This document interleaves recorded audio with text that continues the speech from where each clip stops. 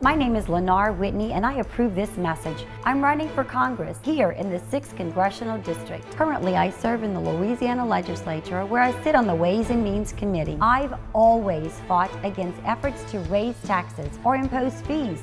This has put me at odds with many of my colleagues, even with Republicans. Being an elected conservative isn't always easy, but I've stood in the fire and I'll do the same in Washington. You can count on it.